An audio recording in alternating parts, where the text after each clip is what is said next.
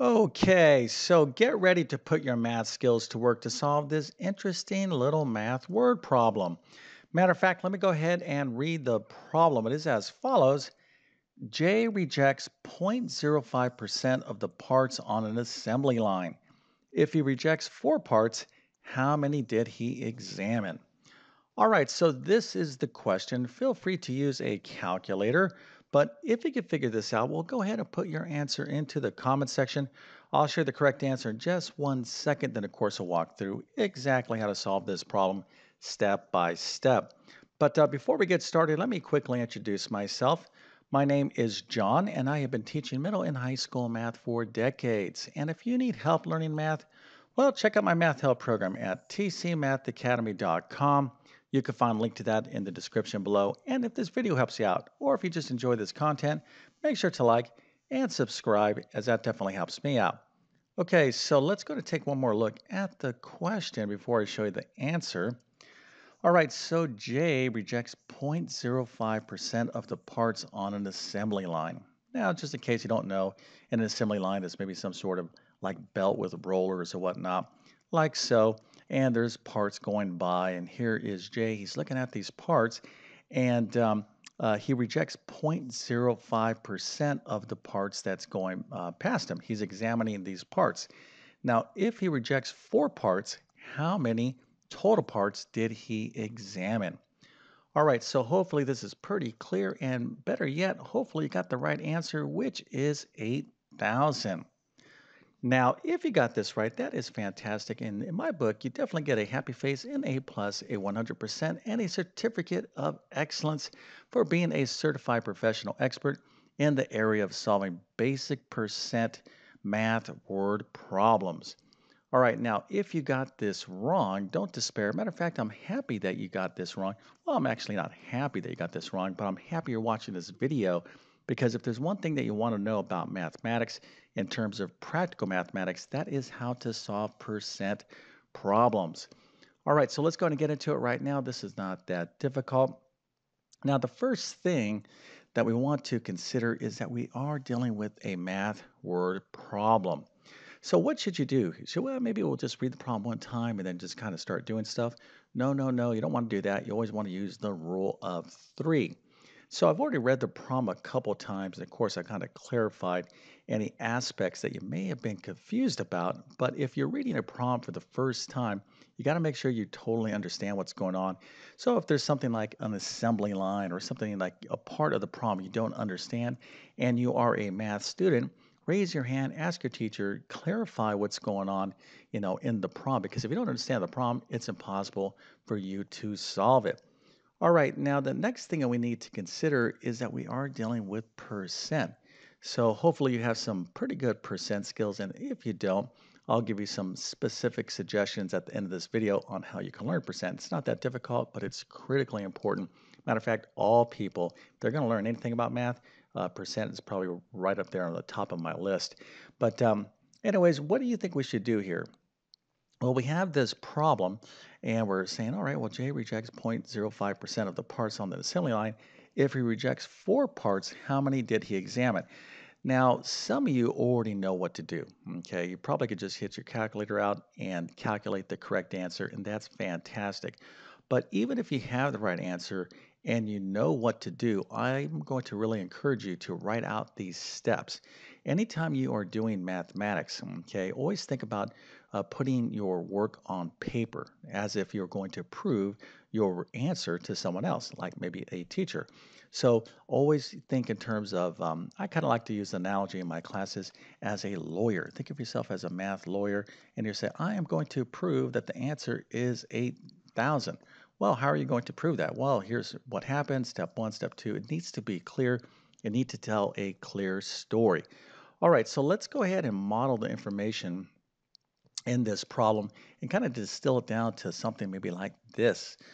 Okay, so Jay, okay, is going to examine all these parts. Let's say this is the total number of parts that Jay examines, but we do know that 5% or 0.05%, excuse me, of these total parts that Jay examines, okay, is going to be equal to 4, okay, because uh, 0.05% of the total parts, okay, we're taking 0.05% of how many total parts he examined, well, the problem says that uh, that's equivalent to 4. So we need to kind of set up some sort of equation here to solve this problem.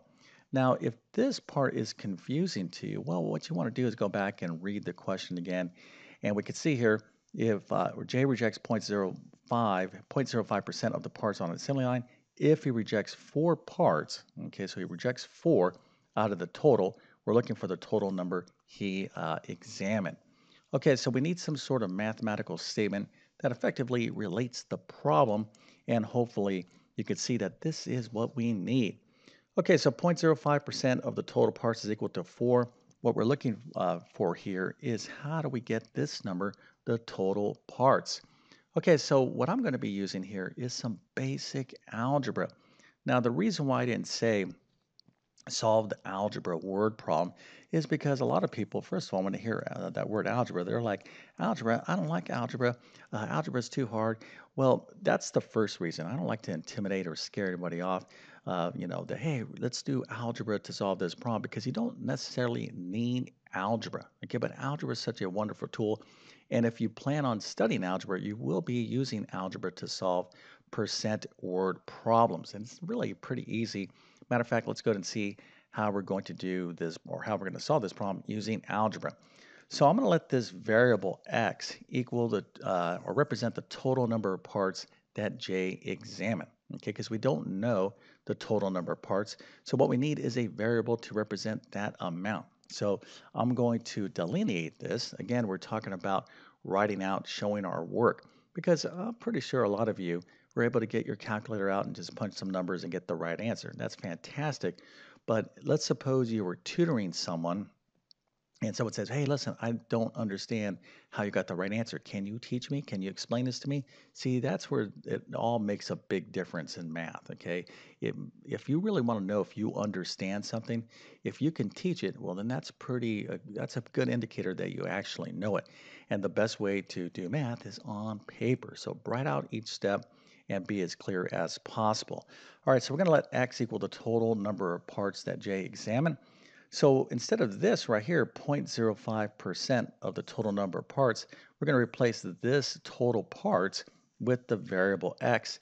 So we're going to end up with this equation right here. 0.05% of uh, x is equal to 4.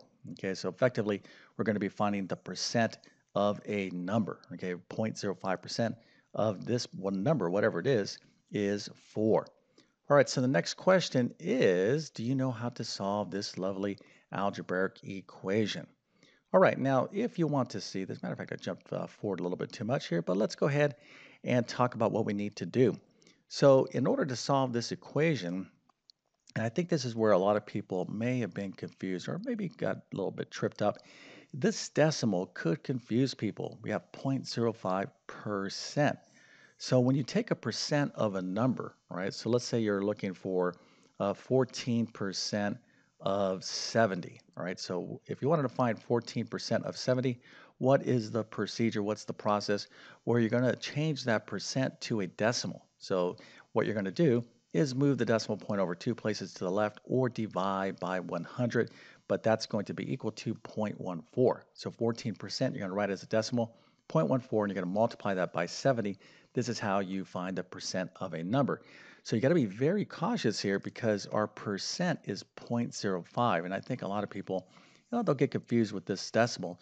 Uh, and they'll be like, wait, I've already got 0.05%.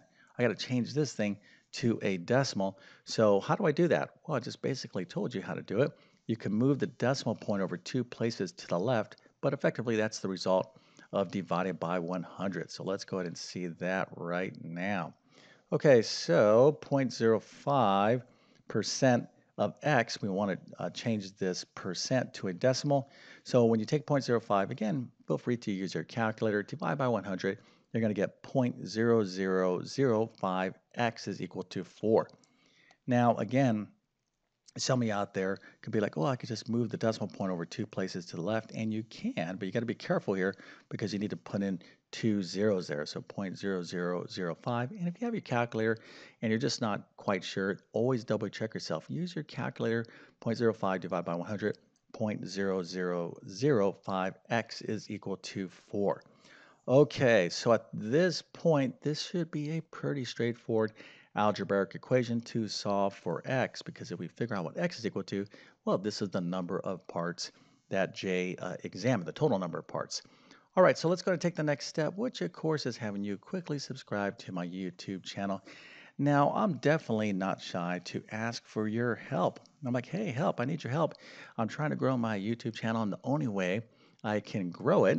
Okay, now why would I want to grow it? Well, you know, of course, I want to see it to be as uh, successful as possible. I've been on YouTube for a long time 10 plus years and pretty close to 3,000 videos now and maybe like 86 million views.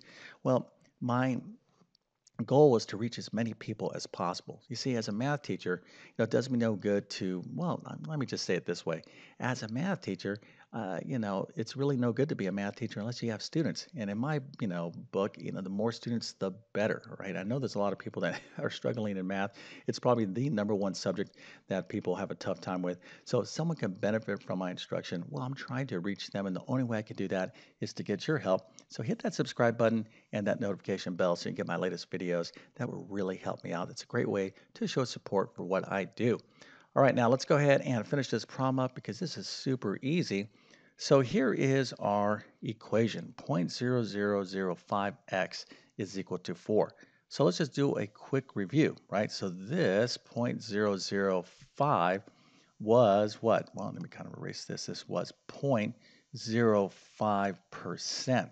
Okay, so we changed this 0.05% into a decimal, and we're going to multiply this uh, 0.05% by this number. Okay, x, we don't know what it is, but we do know this represents the total number of parts that Jay examined, and uh, he rejects 0.05% of these parts, and he rejected 4. All right, so we have this equation 0.005x is equal to 4.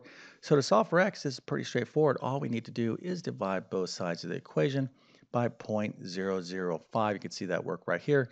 And then again, we just go into our calculator, take 4 divided by 0.0005, and you get 8,000. So x is equal to 8,000. Now remember, you got to always check your variables or what you uh, establish them as, right? So x equals the total number of parts. So obviously Jay uh, examined 8,000 parts. Okay, so as I kind of uh, indicated in the beginning of this video, if there is one thing that everybody needs to understand about math, that is percent. If you think about it, you know, how often are you seeing percent, you know, just throughout your normal day, right? I mean, literally, you go to the store, you see the symbol everywhere, you know, interest rates, credit cards, loans, sales, discounts. I mean, this symbol is everywhere, and you really uh, want to master it. It's not that difficult, but if you are having a tough time with basic math at percent, let me give you a couple quick options before we wrap this video up.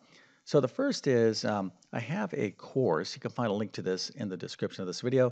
It's called uh, my Math Foundations course. It's basic mathematics, but you know what's basic to some people may not be basic to others. And quite frankly, there's a lot of people who think they understand basic math uh, you know, better than they actually do. Right. So this is a good quick review of arithmetic, uh, decimals, place values, fractions, order of operations, and percent. Now, if you want to take it a step further and you're not a uh, student, then check out my Math Skills Rebuilder course. I teach everything in this course, uh, the Foundations course, plus a ton of algebra, geometry, some other things. Now, if you are a student, you may be taking like algebra or pre-algebra. You'll see links to those courses as well. Okay, so with all that being said, I definitely wish you all the best in your math adventures. Thank you for your time and have a great day.